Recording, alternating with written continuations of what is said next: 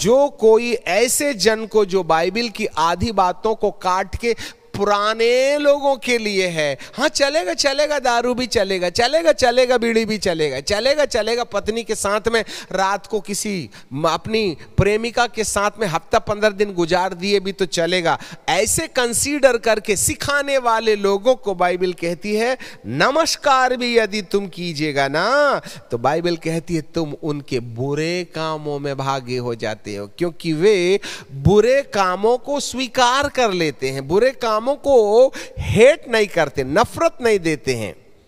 और आज की कलीसियाओं में बुरे कामों के विषय में तो कोई बताता ही नहीं है। और आप उसको सलाम पर सलाम ठोंके जा रहे हो तो क्या आपको भी बीड़ी पीने की आदत नहीं बनेगी क्या? वो खूब गाते हैं खूब गजाते हैं आधे घंटे गाते बजाते प्रचार हो जाता है। जब प्रचार खत्म हो जाता है तब सारे के सारे चर्च के लोग ढेर सारी बॉटल रखी रहती है फिर वहाँ मुर्गा भी रखा रहता है। सब बॉटल खोलते और पीते हैं और टुन्न होकर के अरे तुम क्या घर में जाके पीते हो? हम तुम्हारा इंतज़ाम चर्च में ही कर लेते थे तो कई तो वचन कम, दारू पीने के चक्कर में चर्च पर चले आते हैं। ऐसी भी कलिसियाएँ धरती पर हैं। धरती पर नहीं, इंडिया में है।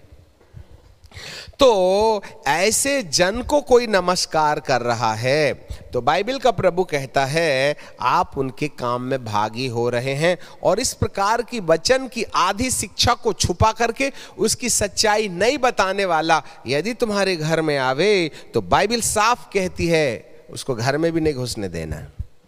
इसका मतलब है सिर भी खाना है, पैर भी खाना है, अतड़िया भी खाना है। क्या बात के लिए? आपके मन को शुद्धिकरण के लिए, जिससे कि दुरात्माएँ आपके मन के अंदर में ना आ जाएँ।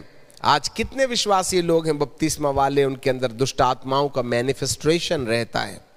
कितने लोग हैं जो ये बात कह रहे हैं, हम तो प्रभु को मानते हैं, उसके बावजूद भी हम बंधन में पाए जाते हैं। बंधन में इसलिए पाए जाते हैं क्योंकि आपके मन का उद्धार अभी भी नहीं हुआ है। लोभ होगा, वासना होगी। आपने किसी को माफ़ नहीं किया होगा। किसी के साथ कोर्ट केस चल रहा होगा। आपने समझौता नहीं किया, अपनी पत्नी को पीटा होगा। कितने लोग हैं जिनके साथ टूटे संबंध पाए जाते हैं। They have the broken relationship in their own life तेरा भाई तुझसे नाराज़ है तो पहले जाके उससे मिल, तब मैं तेरी प्रार्थना स्वीकार करूँगा, अन्यथा मैं तेरी प्रार्थना स्वीकार नहीं करूँगा। कितने लोग बैर के साथ प्रभु भोज खा रहे हैं? तो दुष्ट आत्माएँ तो मन के अंदर हमला करेंगी करेंगी, फिर शरीर में बीमारी तो आएगी आएगी। भाई साहब, यदि हम प्रार्थना कर भी देना तो वो निकल ज़रूर जाएँगी, परंतु पंद्रह दिन के बाद में फिर वही नज़र आएँगी, क्योंकि जिस छेद से दुष्ट आत्माएँ आती हैं, वहाँ रिपेयरिंग नहीं हुई है। आपने उस छेद को बंद नहीं किया है। कई बड़े बड़े स्लैब लीकेज हो जाते हैं। जब हम सीमेंट डालते हैं और इसके बाद हम ज़मीन में पड़ी हुई गिट्टियाँ डालते हैं और रेत डालते हैं तो गिट्टी और रेत के साथ ये घास के डालियाँ, घास भी आ जाते हैं। क्योंकि जब लेबर गिट्टी इकट्ठा करता है ज़मीन में पड़ी, उसके साथ लंबे लंबे घास भी आ जाते हैं। इसलिए जब मसाला बनाया जाता है तो घास निकाल देना चाहिए। और यदि वो मसाले के साथ घास भी चला गया, और यदि वो ऊपर से लेकर के नीचे तक ऐसा तिरछा घास भी चला गया तो घास सूखने के बाद खत्म हो जाएगा, सड़ जाएगा। फिर उसी, उस जगह पर जहाँ घास की डंडी है, वहाँ सुराग हो जाएगी। फिर बरसात में पानी वहाँ से निकल के आएगा। हमको कंस्ट्रक्शन के बहुत बेहतर आइडिया है। याद रखिएगा, आज कितने स्लैब हैं जो लीकेज हैं। क्योंकि उसमें एक छोटा सा घास का तिनका भी मसाले में चला गया। वो सड़के तो गल गया, परंतु सुराग बना दिया और वहाँ से पानी टप टप टप टप करके बहता रहता। है इसका कोई इलाज नहीं है, याद रखिएगा। हाँ हमारी भी ज़िंदगी में कई क्रैक्स होते हैं, कई होल हो जाते हैं। हो सकता है बिड़ी, हो सकता है माँ बाप का अपमान, हो सकता है किसी की कमियाँ निकालने की टेंडेंसी हो सकता है किसी का नंगापन निकाल के बाहर बताने का काम, जैसे नूह के बेटे हाम कनान ने किया था। हाम और कनान तू श्रापित है, क्योंकि तूने पिता के नंगेपन को अपने भाइयों के सामने रखा है।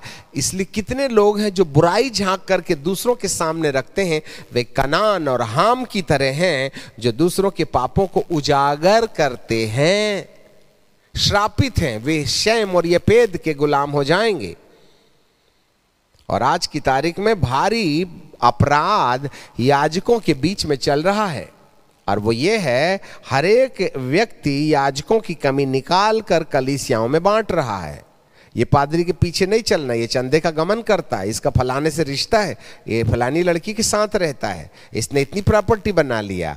आपको सुसमाचार बोलना है, ऐसे बोलो जैसे परमेश्वर का वचन बोलते हो। प्रभु ने तुम्हें कोई हाकिम बनाकर याजकों की कमी को हाईलाइट करने के लिए नहीं रखा। किसी धर्मी का गिरना और खड़े होना उसके परमेश्वर के साथ होता है। परमेश्वर खुद ही उसको ठीक करेगा। आप उनकी कमियों को हाईलाइट करके अपने लिए अमर काल का न्याय न कमा लेना। इसलिए do not look the negative यदि आप नेगेटिव देखने के आदि हैं तो कोई सुराग होगा जो दुरात्माएँ आपके अंदर आ सकती हैं। ऐसे समय में कहीं ना कहीं अंधकार की सत्ता आपको कैप्चर कर सकती है। सो so, बहुत से विश्वासी हैं जो शरीर में और दिमाग में बंधन में पाए जाते हैं। क्योंकि वे प्रभु को मानते और जानते इसलिए यीशु यीशु यीशु यीशु भी बोलते अन्य भाषा भी बोलते करके और उसके बाद में लार भी टपकाते और थूक भी देते ऐसे समय में वो आत्मा में तो आज़ाद हैं, परंतु मन पाप के कारण, शैतान के आने जाने का रास्ता बनाए रखता है और उन्होंने उन गलतियों को नहीं जाना, उन गलतियों को नहीं माना और उसको छोड़ा भी नहीं। ऐसे समय में अंधकार की सत्ताएँ मन के ऊपर अधिकार बना सकती हैं।